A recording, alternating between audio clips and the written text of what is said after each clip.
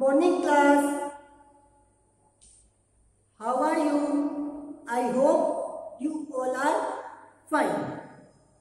Class eight English medium subject है आपका computer chapter number three जिसका नाम है M S access first of would like to say that keep your mobile at least twenty five centimetre from your eyes और एक बात if any students have any problem in my subject, computer, अगर किसी भी student को मेरे subject में कोई भी प्रॉब्लम है तो वह मुझे मेरे व्हाट्सएप नंबर पर कॉल कर सकता है, या किसी का काम अगर इनकम्प्लीट है तो वो भी मुझे कॉल कर सकता है मैसेज कर सकता है। चैप्टर का नाम था एम एस एक्सेस ये वर्ड केवल आपको रीड करना करना नहीं है। बिफोर एक्सेस वाज देखिए एक्सिस के यूज़ करने से पहले, जो Borland and Fox were the two database management system MS access से पहले आपके दो प्रोग्राम मार्केट में आए, जिसका नाम था बॉर्लैंड एंड फॉक्स ये क्या थे? Database management system which were dominating control the market dominate का मतलब होता है? कंट्रोल करना मार्केट को। यानी इनका काम था दिए गए डाटा को अरेंज करना in the form of table clear ये काम होता है ना के अंदर।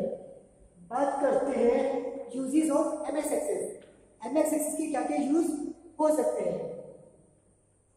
मैनेज अकाउंटिंग देखिए, आपकी कोई भी इंस्टीट्यूशन है, कोई भी कॉलेज है, कोई भी कंपनी है, उसमें जो भी अकाउंट आपके तैयार होते हैं with the help of MS access create होते हैं store data in the form of tables and edit और कस्टमाइज देन देखिए, आपको पता है कि हम इसमें क्या करते हैं? टेबल्स बनाते हैं। टेबल्स क्या होती हैं? इंटरसेक्शन ऑफ़ रो कॉलम और उसमें हम अपने डाटा को अरेंज कर सकते हैं इन एनी ऑर्डर तो हम दिए गए डाटा को क्या कर सकते हैं?